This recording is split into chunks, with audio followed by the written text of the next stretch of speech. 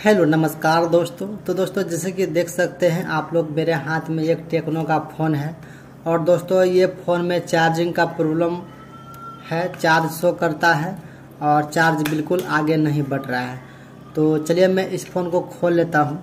तो खोलने से पहले दोस्तों, मैं आप लोग को कुछ बताने वाले हैं। तो मैं आप लोग से यही कहना चाहता हूँ कि इसमें अगर चार्जिंग में आप जब लगाते हैं तो चार्ज बिल्कुल शो कर रहा है, लेकिन चार्ज नहीं उठ रहा है। किसी किसी का भाई का फ़ोन में चार्ज ही शो नहीं कर रहा है। तो दोस्तों, इस स्थिति में आप लोग को करना क्या है? तो दोस्तों, सबसे पहले जेक चेंज करने से पहले दोस्तों, आप लोग थोड़ा सा पेट्रोल लेके इस जेक में दोस्तों अच्छी तरह से क्लीन कर दीजिए।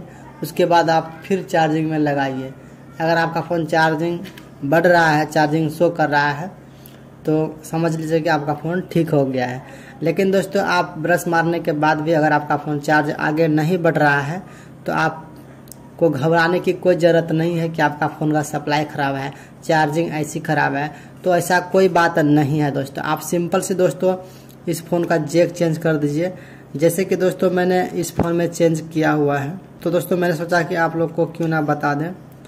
तो यहाँ पे देख सकते हैं। तो यहाँ पे देख सकते हैं दोस्तों मैंने न्यू जेक लगाए हैं इसमें। यहाँ पे देख सकते हैं न्यू जेक चेंज किए हैं। तो इसी प्रकार का प्रॉब्लम बार बार देखने को मिलता है टेक्नो फ़ोन में। तो मैंने सिंपल से दोस्तों डायरेक्ट पिन चेंज कर दिए हैं।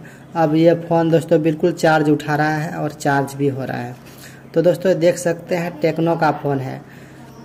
तो आप लोग घबराए नहीं, अगर आपका फ़ोन चार्ज नहीं उठा रहा है या चार्जिंग आगे नहीं बढ़ रहा है तो आप सिंपल से आप जेक चेंज कर दीजिए। तो दोस्तों, ये जानकारी आप लोग को कैसा लगा? अच्छा लगा तो वीडियो को लाइक कीजिए और चैनल को ज़रूर सब्सक्राइब कीजिएगा। तो फिर मिलते हैं इससे भी अच्छी वीडियो के साथ, अच्छी जानकारी के साथ। तब तक के लिए दीजिए आज्ञा। जय हिंद, जय भारत।